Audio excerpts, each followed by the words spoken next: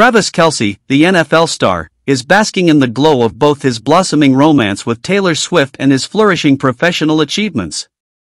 Approaching their one-year anniversary this summer, Kelce, 34, feels like he's reached the summit of success. In a recent interview with Good Morning America, Kelce expressed profound gratitude for the blessings in his life, acknowledging the immense joy brought by his relationship with the global pop sensation and his remarkable career accomplishments.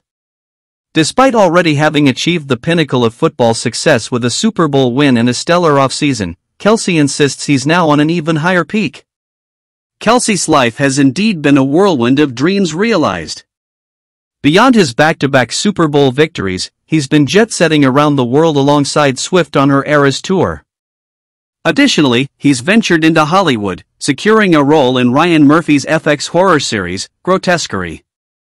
Amidst the newfound global attention, Kelce credits his ability to stay grounded to the presence of his supportive family and friends. He recognizes their importance in keeping him rooted despite the dizzying heights of fame and success. As Kelce and Swift approach their one-year milestone, he radiates a sense of contentment and fulfillment. His journey, marked by triumphs both personal and professional, has culminated in a moment where he feels like he's standing on top of the world, with Swift by his side and a promising future ahead.